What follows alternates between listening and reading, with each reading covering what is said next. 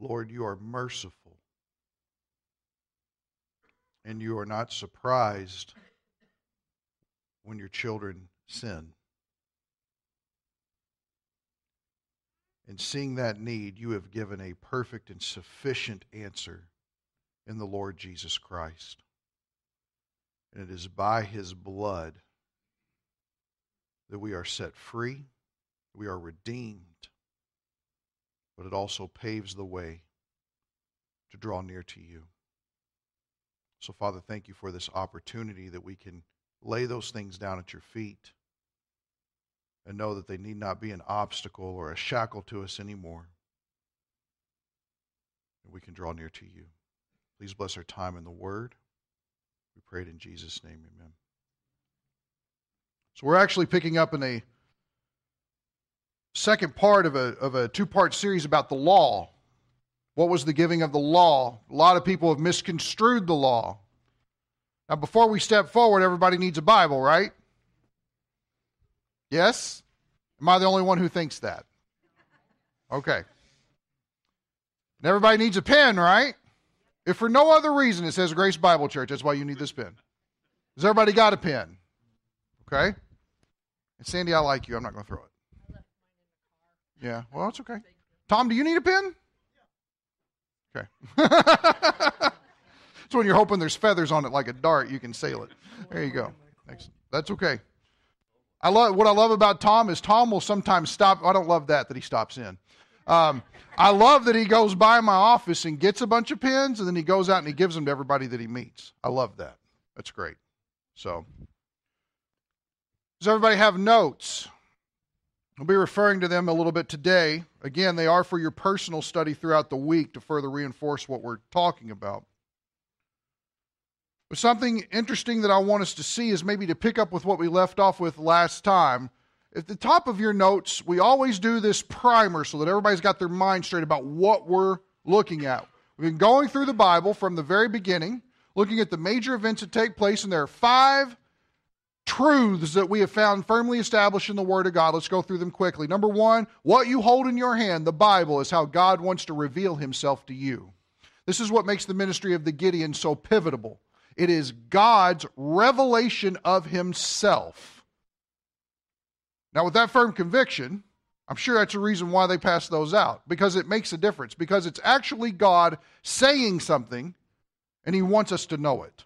Number two, God is the eternal, sovereign creator. He's always been, he always will be, he is, and he rules. Ultimately, his rule is over all things. All that he creates is good, and all that he does is consistent with his character. The next one man is a responsible agent held to a moral standard. When you and I sin, you can't blame your weird uncle who liked to go ice fishing with only his socks on. You can't do it. He was weird, and that's his problem, and he's responsible for it. But as far as having an effect or being used as an excuse for why you do what you do or to excuse sin, it's impossible. We are responsible.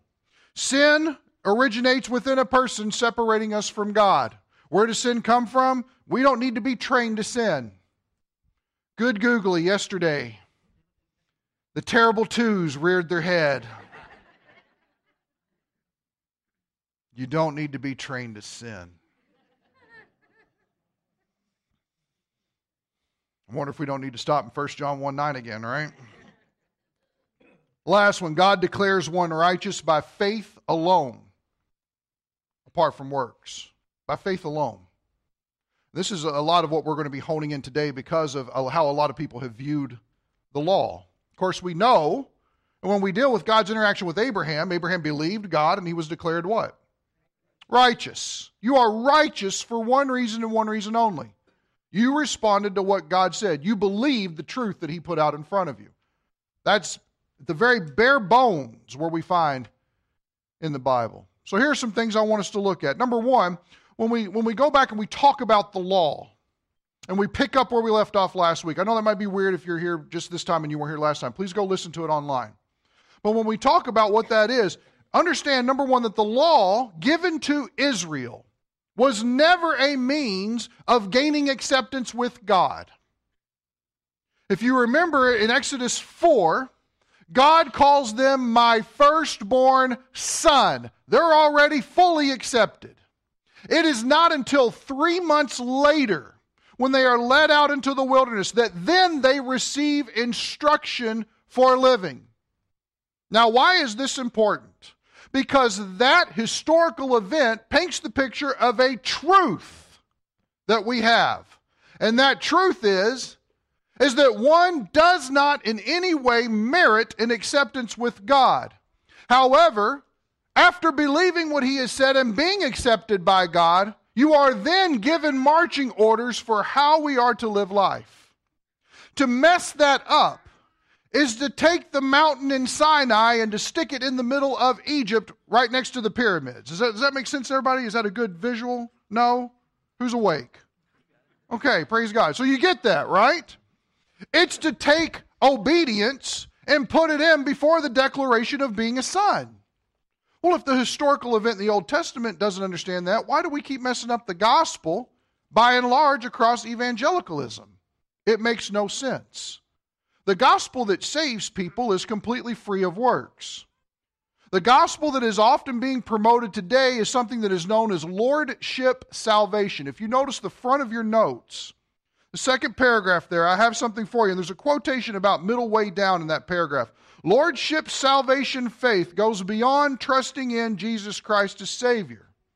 Lordship faith includes obeying Him as Lord as a condition of eternal life. They have included obedience in their definition and understanding of faith. Therefore, Lordship faith requires works as a necessary condition. Or to say, well, you better do this and this and this in order to be saved about keeping the law, what we're actually doing is what is called front loading the gospel. Until you check off the grocery list, you can't check out. That's the idea. Now, that's a scary, scary restriction to put on a message of eternal life when we talk about it is a free gift of God. In fact, I've actually heard people talk about the gospel as the free gift that will cost you everything. Aren't you glad Christmas isn't like that? Family gatherings get weird all of a sudden. The free gift that will cost you everything. It's scary to think that we talk out of both sides of our mouths and we don't pay attention to what the Scripture teaches. Now, it's no secret that we have a sin problem, right? This is educational. National Geographic, Why We Lie. Uh, you've never read anything till you read a pagan perspective that is devoid of God as to why the human condition is one of lying. So, let me read a little bit to you. Our capacity for dishonesty is as fundamental to us as our need to trust others, which ironically makes us terrible at detecting lies. Now, here's the thing are they wrong? Is lying fundamental to us? Yeah, why? Because we're all born sinners, absolutely. So they get that perspective. Being deceitful is woven into our very fabric, so much so that it would be truthful to say that no lie is human. That, sorry, that to lie is human. The ubiquity of lying was first documented systematically by Bella DePaulo. Now, this all sounds like snore stuff, but stick with me. A social psychologist at the University of California, Santa Barbara. Two decades ago, DePaulo and her colleagues asked 147 adults to jot down for a week every instance they tried to mislead someone. Makes you want to go over to Walmart and get you one of those little flip pads and put it right here, doesn't it? No. The researchers found that the subjects lied on average one or two times a day. Most of these truths were innocuous, intended to hide one's inadequacies or to protect the feelings of others. Our ability as a society to separate truth from lies is under unprecedented threat. It's very interesting they use the word truth because they never define what truth is. I think that's interesting. Also, there's a chart that they have included in there. Mitch was able to find it online. This is a really good looking chart. Why we lie? Here's the pie chart for it. Number one reason protect yourself. You did something wrong and you're always trying to cover up. You're always trying to mask or shield your inadequacies to people. Now, this is just one of 10 commandments that we're given out. And I guarantee you, this is probably the one that we find most acceptable in our lives. That's why we point it out. The next closest reason economic advantage. If it's not covering your reputation, it's to fill your pocketbook. She talks about how in sixth grade there was a development of lying, and her and her friend were honing their craft of lying. The lies that my friend and I told were nothing out of the ordinary for kids our age. Like learning to walk and talk, lying is something of a developmental milestone. Anybody celebrate the first time your kid lied? We were wanted to be there for the first walk, the first step, right? We wanted to be there for the first time they verbalized a word. But anybody, honey, did you just hear that? He lied. Man, oh, where's the phone? Let's take a picture of this. You are not chronicling that moment. But notice that the problem of the perspective of the reporter is lying is normal. Let me ask you a question Is lying normal? Do you realize that lying is abnormal? In fact, if we want to talk about what normal is, we go back to Genesis 1 2, right? That's normal. The introduction of sin, abnormal. When Jesus comes and he makes all things right, normal. Everybody see how that works? Very important that we grasp that. I thought this was interesting how they ended the article. What then might be the best way to impede the fleet flo- the fleet-footed advance of untruths into our collective lives? I love it. What's the answer? How do we deal with this situation? Obviously, it's a problem. It's a milestone, but it's a problem. How do we deal with it? The answer isn't clear.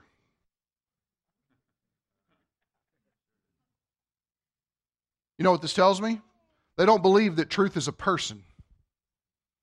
They believe it's an abstract thought and they don't believe it's the person of the Lord Jesus Christ. That's a problem. That's a massive problem. Sin's a problem. So now here's the question How does the church relate to the law? Good question to ask, right? I found an interesting thing in your notes here. If you'll turn over to the second page, just to take a look. Some of you are familiar with Arnold Fruchtenbaum. If anything, his last name is fun to say, right? But he is a Messianic Jewish scholar and author, and he's documented some reasons as to why the law is. So notice there's a little chart there on your second page, kind of lined out. Number one, in relation to God, the law reveals his holiness, it's his righteous standard spelled out in perfection. Number two, in relation to Israel, it keeps Israel as a distinct people. I'm going to tell you this it's real important. The law wasn't given to us, it was given to Israel. Not to us, not to you and me. It's not to us. It convicts us, it condemns us. It is the perfection of God in which we could never keep. But it wasn't given to you as a rule for how to conduct your life and achieve intimacy with God. It's not what it was given for. B, to provide a rule of life for the Old Testament saints. C, to provide an individual and corporate worship. D, that by doing them they would live long in the land. The Israelites living in the land was conditioned upon them keeping this law so that they maintained intimacy with God. Why is that? Well, in Deuteronomy 4, we're told that when the nations will look at Israel, who is keeping this law, they will all marvel and they will say, There has been no one like the God that you have who is so righteous and gives you such amazing standards. Has given you such incredible judgments. There's no one like your God. By them living out the law, it exalts God amongst the pagan nations who do not have the law. Number three, in relations to Gentiles, the law serves as a middle wall of partition and thus kept them strangers to the unconditional Jewish covenants, so as not to partake of Jewish spiritual blessings as Gentiles, but only as proselytes to Mosaic Judaism. And you just said, What in the world did you just say? Because I got it in front of my face and I don't know what it said. What it's essentially saying is, is that because it was given to the Jews, it keeps Israel and Gentiles distinct, and it keeps Israel and the church distinct. It is a line of distinction, is what it is. But number four, this is when it starts to kind of creep over into our area to reveal and show what sin is. If you read the law, you'll recognize one thing real quick you can't keep it. Real quick. And it's not because the law is bad, it's because I'm so bad. That's the inadequacy. B, to demonstrate the exceeding sinfulness of the flesh. My flesh is exceedingly sinful. C, to show that living by the law only breeds living that is fleshly. When you try to keep it, you just sin more. How many of God, I'm never going to act that way when somebody cuts me off again? Liar, right? You know it. The law that we even set for ourselves, we break it. God, I'll never do that again. Oh, we're self condemning. How about the last one on the next page? To show that the flesh will never get better because it will always serve the law of sin, it will always lead to death, and it will always be profitless. The Christian life is never about our flesh getting better. It's never about us trying harder. It is always about trusting Christ more every day, every moment, every time. Every time. So now, if you look down below that, a common misunderstanding of the law in that second little section, in the New Testament, positionally, we are already true law keepers in Christ because he's kept the law perfectly on our behalf. It's a good verse for us to turn to. Let's turn to Romans 10 and look at verse 4. You can just mark it in your Bible as something to remember whenever we have somebody that wants to try to keep us under the law or perform certain things in order to be accepted before a holy God. That's legalism, is what that is. Romans chapter 10. If the person next to you is having trouble finding it, be a good Christian and help them. Romans chapter 10, verse 4.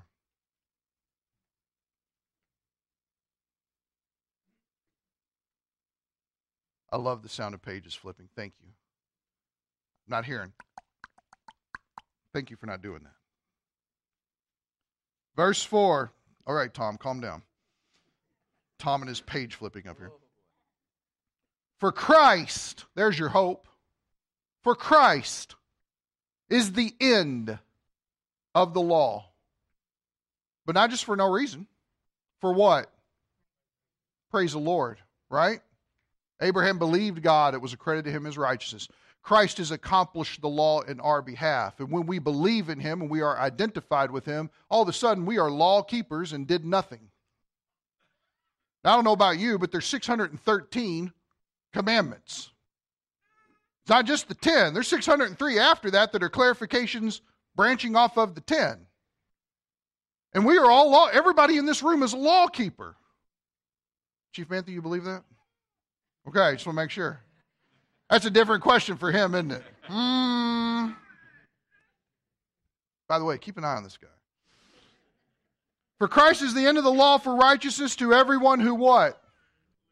Nothing got corrupted there, did it? We became law keepers because Christ kept the law by one way and one way only, and that was faith. Period. Pretty simple. Now, positionally, that sets us up gravy, right? That's excellent. But practically, what does that look like? If you notice down at the next one, practically speaking, we are keeping the law when we operate in love with one another. Turn over three chapters.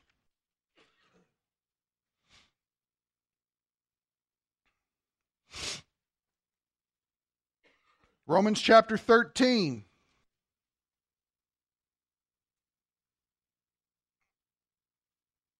Verse 8. Owe nothing to anyone. Now, we could stop right there. I could pray and we could go home and I would get 40 emails about that, those four words, okay? But it's clear what it says, right? Owe nothing to anyone except your Visa card. No. Except to love one another. For, here's the reason why he who loves his neighbor has fulfilled the law. Positionally speaking, Christ has fulfilled the law on our behalf, and when we believe, we are righteous. Now, here's a question How are we declared righteous? Yeah, by faith is how that happened, but you've got to measure it. It's by Christ keeping the law, and therefore we get his righteousness. The law is a standard of which to measure. Does that make sense? The law is the perfect standard of God, it's a measuring tool. Practically speaking, how do we fulfill the law? We love our neighbors as ourselves. Here's the interesting thing when you're loving your neighbor as yourself, you're not breaking the law. Let me ask you this. Let's, put, let's flip it another way. How much do you love you? Think about it for just a second. Scale of 1 to 10, probably a 20, right? I love me a lot. Well, here's the thing love your neighbor that way. By doing so, you're fulfilling the law practically. All of it can be summed up in that loving your neighbor as yourself. So the church has dealt with this problem of should the church keep the law for years. And I wanted to give you all that as like a prep in your mind for what we're getting ready to see. So turn back one book to Acts 15, and this is where we will camp out. I'm sorry, but everything I just told you was actually the end of last week's sermon. But because we clocked in at an hour and 12 minutes, I felt it was good to pray and go home.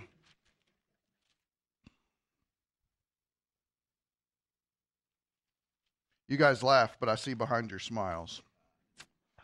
Just kidding. You guys have been very patient with me. Thank you. Acts chapter 15. Some of you have a heading at the top of this. It probably says the council at Jerusalem or the Jerusalem Council, something like that. This is a pivotal moment in early Christianity. It occurs about AD 50. Uh, Jesus probably ascended into heaven around 27 AD. That's probably when that happened. Nobody really knows for sure when it's chronicled at that time, but probably around 27, 28 AD. And so we've had a period of time that's taken place for the longest time. Uh, up until a little bit after 44 AD, it was only the Jews who were hearing the gospel and believing. You have this early preaching by Peter that starts the church in Jerusalem. It manifests forward. And it's not until sometime after that 44 time, it was probably more around 49 AD is when it was, that Peter preached to the house of Cornelius in Acts chapter 10, and all of a sudden Gentiles are coming to faith in Christ. And now the temptation at hand is well, since they're Gentiles and there is a harsh streak of racism historically between the Jew and the Gentile, since they're Gentiles, they must be required to conform to a Jewish way of living in order to be considered acceptable before God. Now, this is why there is a distinction between the church and Israel, is because they started trying to mix the two and messed up the gospel in the process. So, go with me here. Acts chapter 15, verse 1. Some men came down from Judea. Now, Judea is down south. That's where Jerusalem is located, if we were to mentally think of our geography there. And they began teaching the brethren. Now stop. The sheer fact that they were given an audience to teach the brethren shows that they're already saved people. They would not give permission to unsaved people to teach. Now, where are they coming from Judea to? They're coming to Antioch, and Antioch is Paul's home church. It's where he started his ministry. It's where he was a part of the preaching and teaching process, and that's where he was set aside by the Holy Spirit and commissioned to go out for his first missionary journey. So, Paul and Barnabas, Barnabas, the son of encouragement, you always like somebody that's labeled by their spiritual gift, right? That's a good guy to have around. You go on their first missionary journey together, first missionary journey that's ever been done. They go around and win a ton of Gentiles to faith in Christ and start establishing churches, training people, loving them, encouraging unity in the faith. Man, it's explosive, it's awesome. And they come back and they tell the home church what's going on, and everybody rejoices and woo, Jesus, right? Everybody's excited about it. Testimony meetings matter. When people are sharing what God has been doing, it matters. So now, they have the guest speakers come. Hey guys, we're from the church down in Judea. Oh, come on in. What do you want to share with the brethren? They started teaching the brethren. Here's the content of their message. Unless you are circumcised according to the custom of Moses, you cannot be saved. And all the Gentiles in the room went,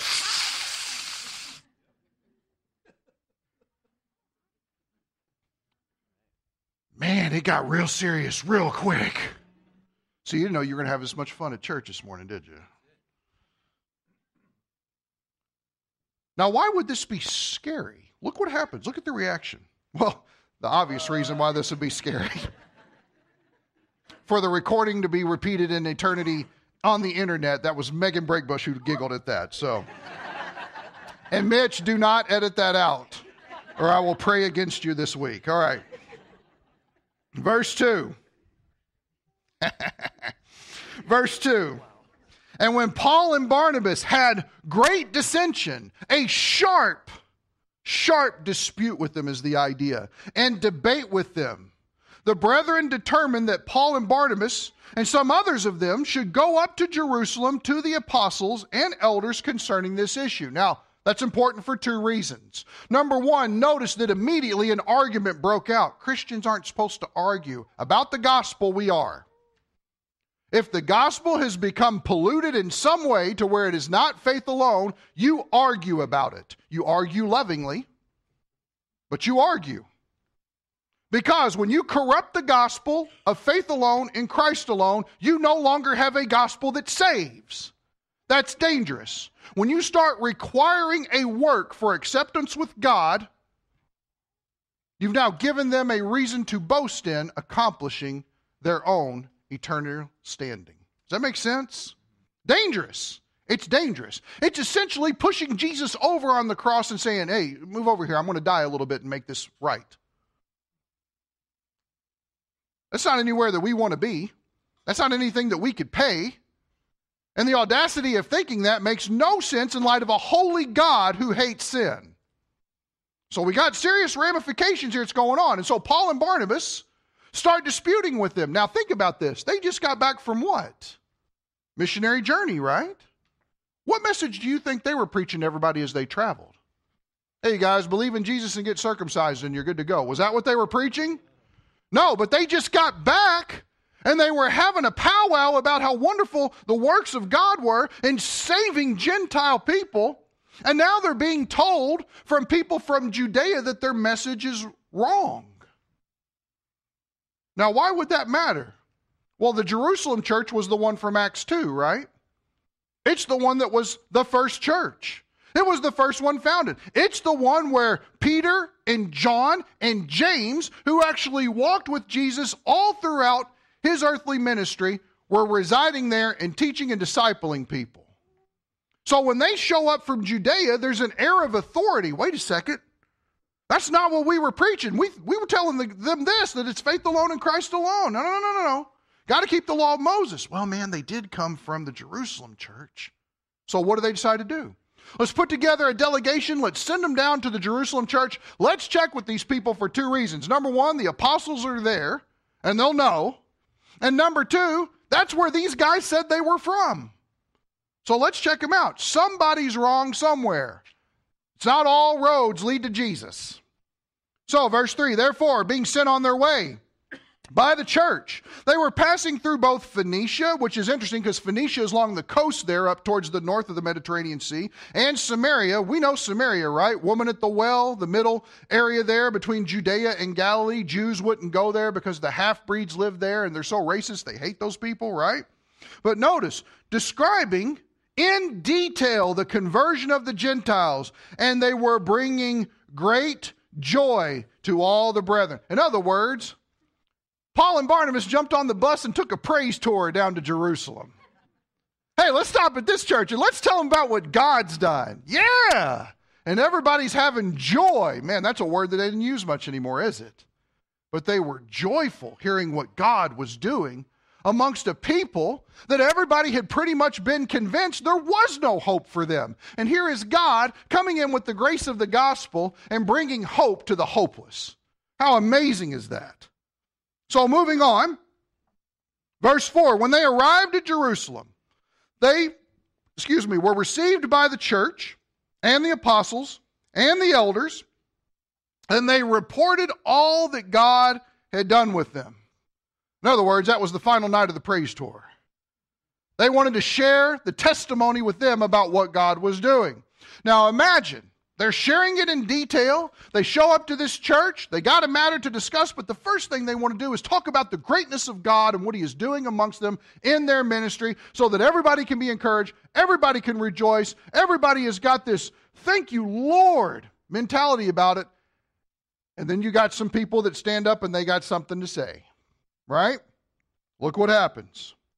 Verse 5 But some of the sect of the Pharisees, now we remember those guys, right? We remember them from the gospel. And then all of a sudden, we all get angry eyebrows and the little fang teeth come out. We're like, ugh, don't like those guys. But hold on just a second. Look what it says after that. Who had what? Uh oh. Stop. There are brothers and sisters in Christ. They were Pharisees, yeah. But if them leaving being Pharisees was conditioned upon their salvation, then we're adding law to their conversion. Everybody see that? No, they were still involved in this whole Pharisaical religious ordeal, this council that was set up, these Jewish know it alls that were set up. But they had heard the gospel and they had believed and they were born again. Why? Because the only condition for salvation is faith in Christ. That's it. So let's be consistent with the text. It says here, who had believed, they stood up, and here's what they said. Now, notice, saved people who have gotten the gospel wrong. It is, what's the word, church? Necessary to circumcise them and to direct them to observe the law of Moses. Oh, hold on. In chapter 15, verse 1, the requirement was to be circumcised. That's bad enough, right? Now they travel down to the church that has the guys that walked with Jesus. And the poison has infiltrated some people there. And because it's mentioned that they're Pharisees, makes you think that it probably came from a distortion among the other Pharisees. You see how that works? They were influencing the believers away from the truth of the gospel, is probably what took place. No, no, no. It's not just, you know, hey, hey, we just came from up in Antioch. Some of your guys came up and told us we had to be circumcised to be saved. Oh, that's not right. That's not right. You got to be circumcised and keep the law of Moses to be saved. Everybody knows that. Is that true? Is that true? Notice the problem is even worse the closer they got to home base. So, how do you deal with it? Verse 6 the apostles and the elders came together and looked into this matter. In other words, the leadership called a timeout and had a meeting. Churches hate meetings, but in this case, it was important, right? Verse 7 After there had been much debate, a lot of back and forth, the issues generating a lot of discussion, and chances are emotions were running high in the midst of the whole thing. And I love it. Of all the people to stand up, you and I wouldn't have chosen Peter to speak, right? We're like, oh, that's a guy cut off that ear. We don't want that guy standing up, right? It's like me trying to get Tom to preach. I don't know. But anyway, I have you to pick on, I don't know what I'd do. Um, sermons are probably shorter. All right, moving on. I'm glad you caught that joke. Thank you. Praise God. Uh, after there had been much debate, Peter stood up and he said to them, Brethren, you know that in the early days God made a choice among you that by my mouth the Gentiles would hear the word of the gospel and believe. Now, pause. This verse is packed with some goody goody stuff, okay? Notice that Peter's not tooting his own horn. Notice that Peter's not saying, Look at me. Peter's saying, Early on, the Lord made a choice between us. He commissioned me to go and talk to some people, right? I mean, isn't that what it said? He was chosen. What was he chosen for? A task. That by my mouth the Gentiles would hear the word and believe. Does everybody notice that Peter's got the gospel straight? Faith comes through hearing, and hearing the word of Christ, you hear the gospel and you believe. People don't get saved any other way. They hear this is why evangelism is so important. We tell someone the gospel, they hear it, and then they have now have to respond. Do I believe that's true? Do I have a conviction that that is true, or do I not? Belief or unbelief? So notice he's got that straight. Now, this shouldn't surprise us. Does everybody remember whenever Jesus has the conversation with the apostles? He says that I'm going to establish my church and the gates of hell will not prevail against it. And he says, And Peter, on this rock, I will build my church. Now, a lot of people have said that the rock there is the gospel. I disagree with that.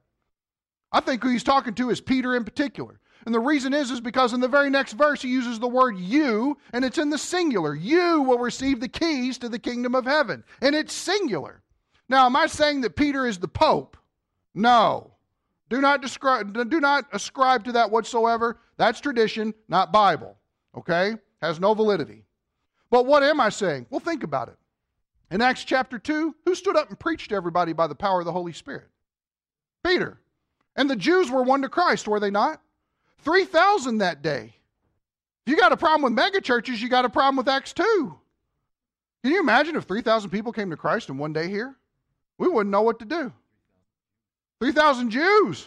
You couldn't even fix some barbecue in that case. That's rough. I couldn't, I don't know if I want to be part of that church. Woo. Barbecue's where I draw the line. Just kidding. But then later on in Cornelius's house, everybody remember the sheet. He has the dream of the sheet that's let down, all the animals. Peter, don't call anything that I've made unclean. And then he receives word come to Cornelius's house. He shows up, he shares the gospel. All of a sudden, the Holy Spirit comes upon them. And they, and they all stand back and they go, Good grief, God is saving the Gentiles. Who preached that sermon? Peter. Exactly as Jesus said.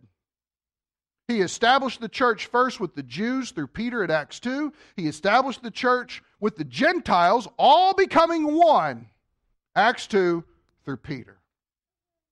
The person who probably failed Jesus most, with the exception of Judas, was used the greatest for his glory. Incredible. Incredible the grace of God to use us when we might feel otherwise unusable.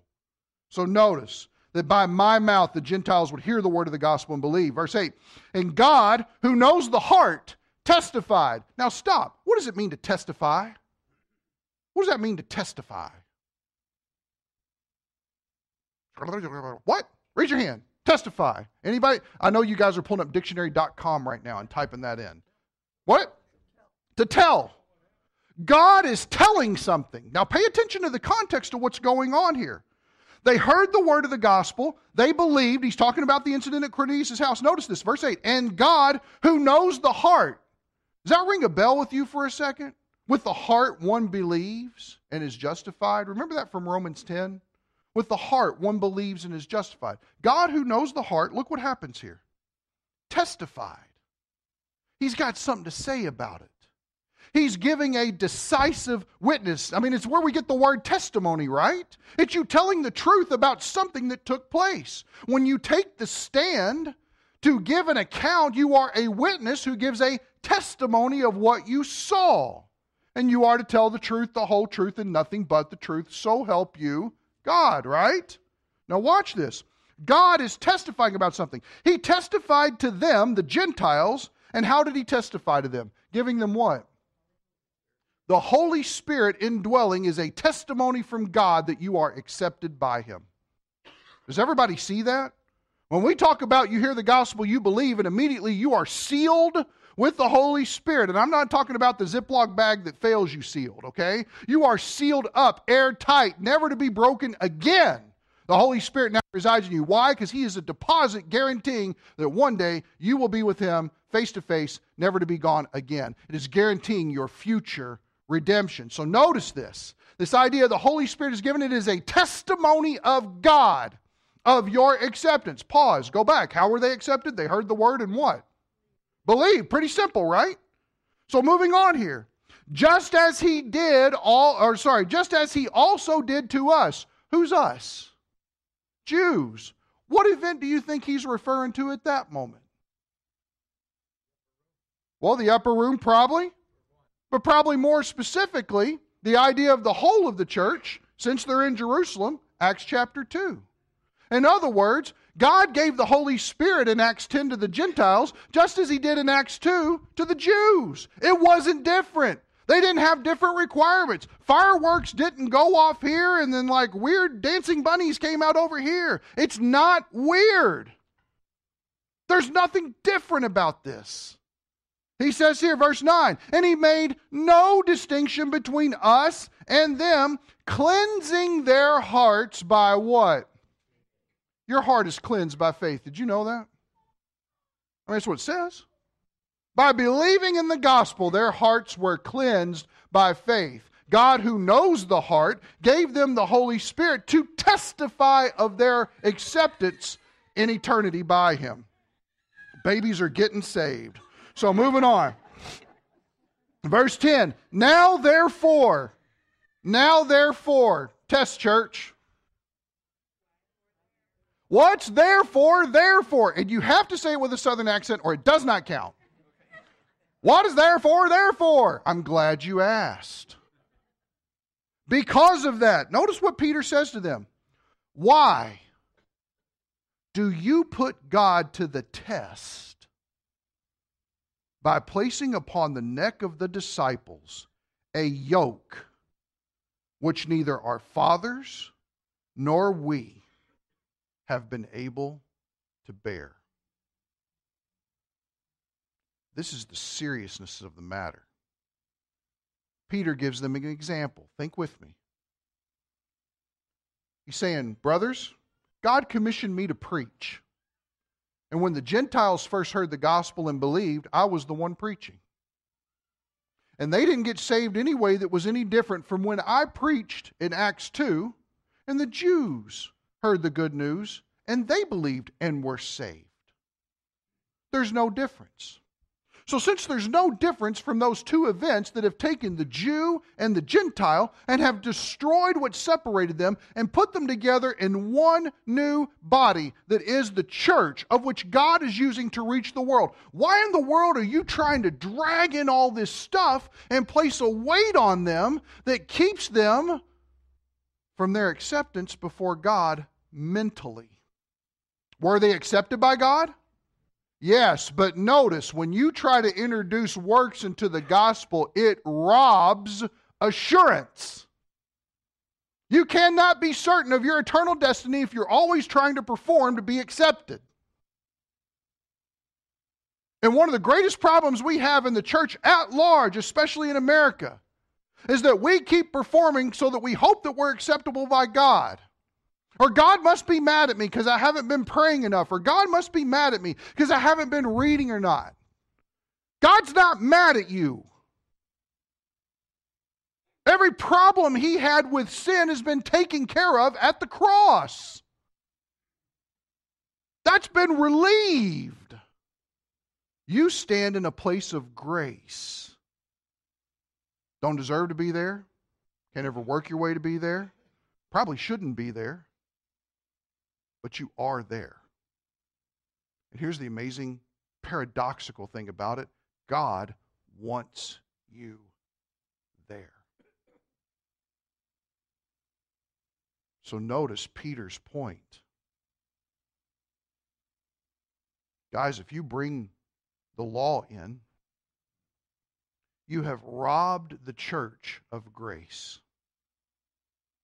You've robbed them of their acceptance. Because I tell you this a, a, Christian that has no assurance will not grow.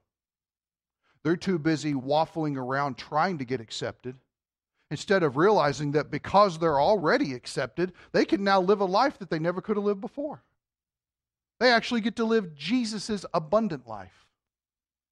Now, here, in conjunction with all y'all, the church. So let's finish this up. Verse 11.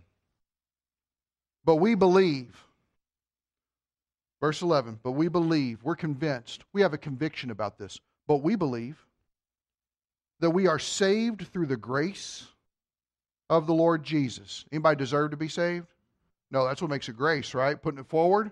Him even offering it. Him stooping down to provide the means of restitution for sinful people.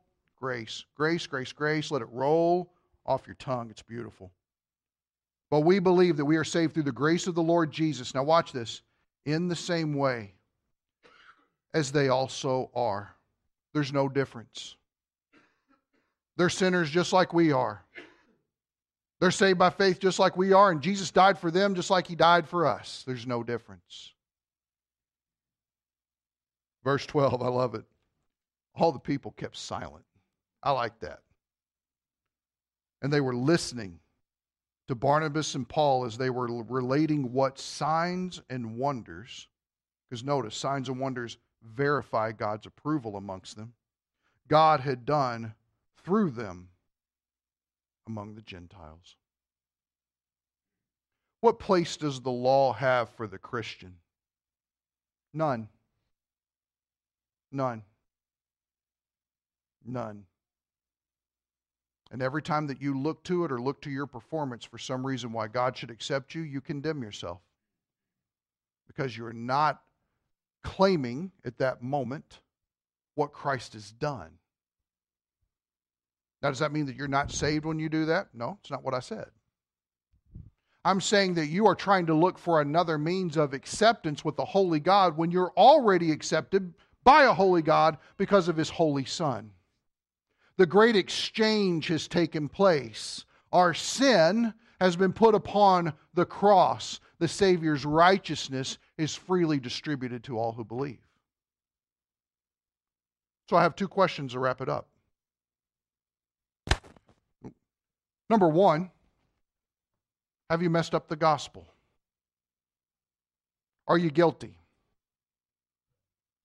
Do you think that maybe it's good in some way or admirable to encourage them to keep on. They, they got to get these works down. Well, they're just not acting right. So we got to give them a couple of hoops to jump through to know to verify that they're really saved. Pause. Who gives the testimony whether or not someone's saved?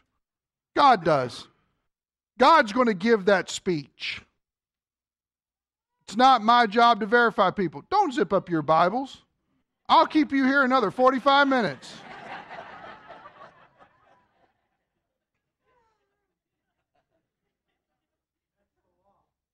That's the law. It is. It is. I'll keep you here 45 minutes, but I'll let Pastor Steve go, right? Don't miss this, church. Don't miss this, because I know the tendency. The tendency that we have in us is, man, I've heard this before. Man, we talk about this all the time. Good grief, it's the same thing Pastor Steve told me. It's because it doesn't get old. And it daily gets corrupted. I'm not kidding you. I deal weekly with people who have messed up the gospel. Weekly, not here, not all the time. But I deal weekly with people who want to have some kind of interaction because the grace that I preach is just too free. It's just too good to be true. Is it? It is. It is too free and it's too good to be true because sometimes I don't understand it. But does that make it not true? Oh, man. If anything, that's just how much God loves us. God demonstrates his love for us, and that while we were still sinners, stained, wallowing, loving our sin, rationalizing our sin, given reasons why our view is right and God's view is wrong, even while we were in the midst of doing that, Christ still died.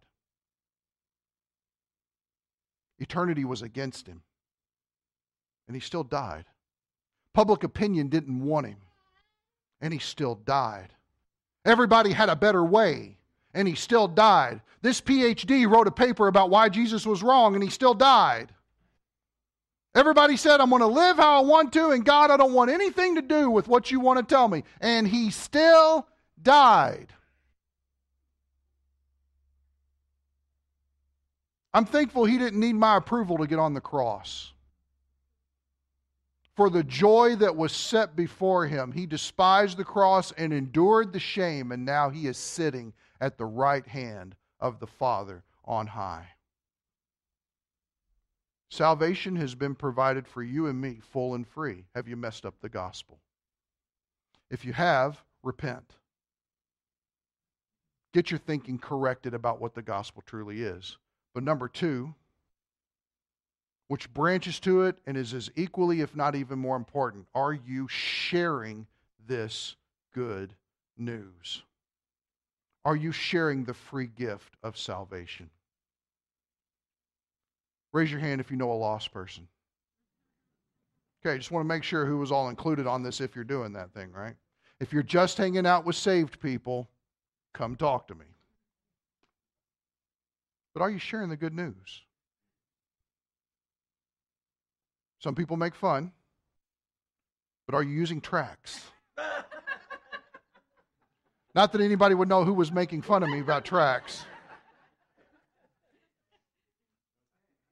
But tracts preach the gospel when you can't be there. There's no reason not to give them out. And the people that shop at Walmart, as much as the employees at Walmart, need it as well. So when you go there, leave them. You go to Aldi, leave them. Wherever you're at, leave them. Is it good to give out our pens? Yeah, but that advertises our church. I'd rather advertise Jesus. Have that conversation. Pray that God will give you the courage if that's the reason why you're not doing it. But those conversations need to be had because eternity is at stake and the gospel is too glorious to not share. While we were sinners, Christ died.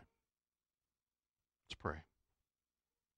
Thank you, Father, that you've given a clear event in history where this matter of law keeping was debated, rolled over, thought through, planned out, dissected. And the evidence was clear. Everyone is saved by hearing the gospel and believing. You give testimony to this by giving your Holy Spirit graciously to indwell us. Father, you have commissioned the church with a purpose, with a task, with a vocation to fulfill. And that is that the gospel needs to always be on our lips. Lord, if we've gotten it wrong, correct our thinking. And if we're not sharing it, correct our action or our use, our stewarding of our opportunities. Every person needs to be told about the gospel because that's exactly who Jesus died for. So thank you, God, for forgiving our sin problem. Thank you, God, for doing graciously, amazingly beyond all we could ask and think. Thank you, God, for loving us and sealing us for a future day when Jesus will return and call us up to him, and we will be with him always. Thank you, God, for hope. And we pray it in the name of Christ our Lord. Amen. I don't really have a lot of announcements today, but the one thing I do want to draw your attention to is the um, clipboard that's out on the Welcome Center. It is for membership class. If you've been coming, you got questions or want to learn more about the church, that kind of thing, please sign up. Please come. You do have to go through the class to become a member, but you don't have to become a member just because you went through the class. It's important. So come, ask your questions, hang out, get to know all about it. Chuck's going to be there. I always think that's fun to bring up because Chuck's a fun guy to be around. Way more fun than Tom. Tom won't be there. Everybody's going to sign up now because Tom's not going to be there, right? Just kidding. I love you, man. I'm sorry. I think I'll show up. I'm sorry. So, but because of our joyous salvation, let's stand and let's sing together. You may not like holding hands. Awesome. Germ-X is out in the foyer, right? But let's rejoice in this.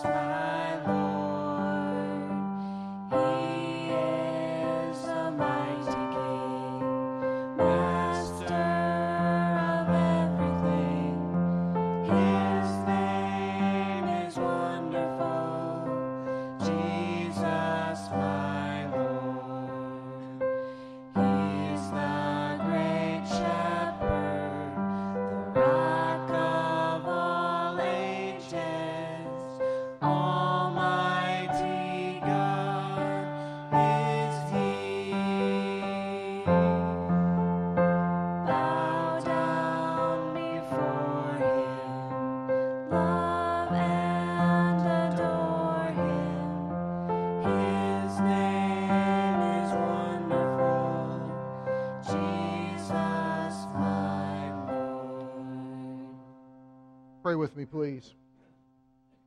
Father, we thank you for the provision of our glorious Savior, Jesus, our Passover lamb, the one who takes the sins of the world. Thank you, God, that your word constantly teaches us the assurance of our salvation, your great love for us, and the free and full gift of a sufficient Savior.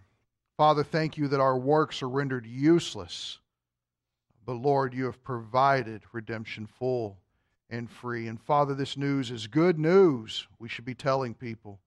So please, God, give us opportunities and give us eyes to see and hearts that are compelled to let people know that you love them, you've died for them, and you offer them eternal life by faith alone in Christ alone. We pray it in Jesus' name. Amen.